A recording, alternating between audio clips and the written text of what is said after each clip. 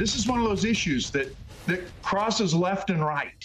We have people on the left who are telling us about it, people on the right who are telling us about it. They're all saying the same thing. This isn't American. This isn't proper. This is improper use of abuse of power uh, to intimidate someone. It, it, it's it's a uniting issue, and and there are darn few of those in our society these days. Regular 11th hour viewers will remember our coverage of the Marion County Record, the Kansas newspaper whose offices were raided by police back in August and then put out their weekly issue anyway. Well, a month and a half after those raids and after the warrant was withdrawn, the Marion mayor suspended police chief Gideon Cody and now Cody has officially resigned. Back with us tonight, one of my all time favorite guests, Eric Meyer, the co owner, publisher, and editor of the Marion County Record. Eric, I'm so glad you're back. Um, it has been about six weeks since you were here with us. What should we know about the situation? Well, it's like a lot of scandals, the longer you go, the more messages, texts, videos, other things start coming out. People start talking that hadn't talked before. It's it's getting to be a much clearer picture of what's going on. Uh, either the chief was perhaps the most incompetent chief that anyone could ever imagine, or there was some malicious intent behind this. Uh, he just today filed a defense against a lawsuit filed by the reporter whose uh, whose computer is being taken away in the picture that's on the screen right now. Uh, he also seized her personal cell phone, and his response was, "Well, I just told everybody about this, and you know they they didn't tell me it was a bad idea to search this, and and and then they told me later that they hadn't even read what I sent them, and so uh, you know what am I supposed to do?" So, what do you uh, think? It's deviance or incompetence? I, I think it's actually both. I, I, think there's a little bit of both in, going on in this, and there's a lot of different players all of whom had different objectives in what they were looking for.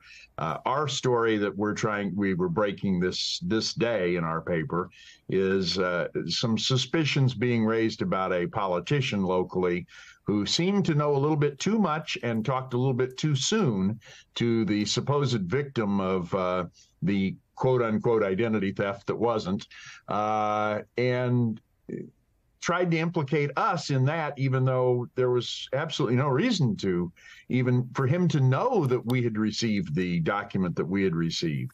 So we think there's some leaks going out that we're trying to see that, uh, oh, we've got this newspaper and this politician, because the vice mayor was also involved in this. Uh, who we can really squash right now if we want to, and let's go out and do it. Uh, and it, it was it's obvious from the overkill that they went to. I mean, the, the, the thing that just sticks in my mind is seven police officers to raid the home of a 98 year old woman. You know, I mean, it's just ridiculous. Uh, they didn't need that many. They used two when they were raiding the home of somebody who had raped his five year old granddaughter. Uh, I think that's a little more dangerous and serious of a crime than than stealing somebody's record that says they aren't driving legally and we didn't even do that. That wasn't a crime. Uh, to date, no law enforcement officer has ever spoken to me about this case. So the investigation, as thorough as it was, and they they accused me of being involved in it. They've never even spoken to me, other than to hand me a search warrant and take stuff away from me.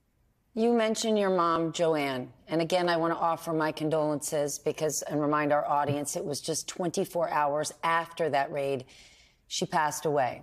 She was a longtime publisher of the paper. Um, she was so passionate about her work, about the paper. What do you think she would say now after everything you and your staff have done since the raid, getting the paper out, reporting on what happened to you? What is she? What, she's well, looking down from heaven. What is she thinking?